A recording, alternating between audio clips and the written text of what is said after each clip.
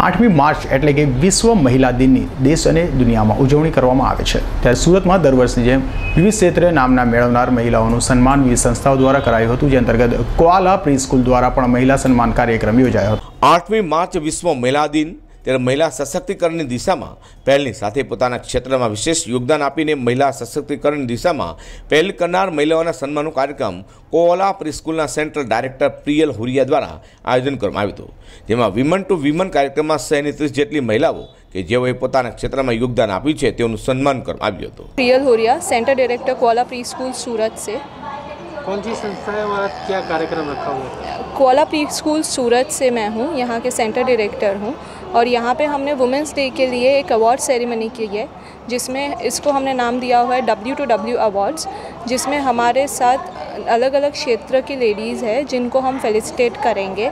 इस award ceremony में हमारे साथ तनिष्का पाटिल जी, रितु राठी जी, वनीता रावत जी, अंकिता वलन जी, सुनीता नंदवानी जी, पूजा व्यास जी जैसे बड़े बड़े नाम साथ में जुड़े हैं, ताकि हम इस इवेंट को आगे अपनी बेखूबी से आगे बढ़ाते रहें कितनी महिलाओं को आज अवार्ड दिया है यहाँ पे हमने 30 जनों को अवार्ड दिया है અ, જ્યોતિ ઠક્કર મેડમ આજે શું કાર્યક્રમ હતો કઈ સંસ્થા આજે અ, પ્રિયા મેમે અહીંયા વુમન્સ એમ્પાવરમેન્ટ માટે અ, જે ફિલ્ડમાં સક્સેસફુલ ફિમેલ છે એને અવોર્ડ આપવા માટે એક અવોર્ડનો કાર્યક્રમ રાખ્યો હતો જે ખૂબ જ સરસ હતો બીજું શું કહેશો મહિલા દિવસ નિમિત્તે મહિલા દિવસે એટલું જ કહેવું છે કે દરેક મહિલામાં કંઈ ને કંઈ પાવર્સ હોય છે. એ લોકોએ પોતાના પાવર્સને ઓળખીને સમાજને સાવ કરવું જોઈએ અને દરેક મહિલાએ બીજી મહિલાને સપોર્ટ કરવો જોઈએ. જેવી રીતે આજે પ્રિયલે કર્યું છે એવી રીતે દરેક મહિલાએ બીજી મહિલાને સપોર્ટ કરવો જોઈએ.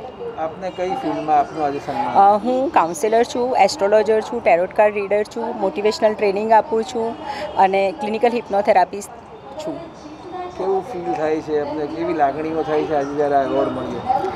ખૂબ જ સરસ લાગણી છે. જ્યારે કોઈ વ્યક્તિના જીવનમાં આપણે ચેન્જ કરી શકતા હોઈએ અને એની જીવનમાં એ મહત્ત્વનું કામ અગર કરવા મળતું હોય, તો એ ખૂબ જ સરસ લાગણી છે અને આજે હું ખૂબ જ સારું ફીલ કરું છું. આ એવોર્ડ મેળવીને મહિલા સન્માન કાર્યક્રમમાં તનિષ્કા પટેલ, રીતુ રાઠી, સુનિતા નંદવાણી અને ડૉક્ટર જ્યોતિ ઠક્કર સહિતના હાજર રહેવા પામ્યા હતા.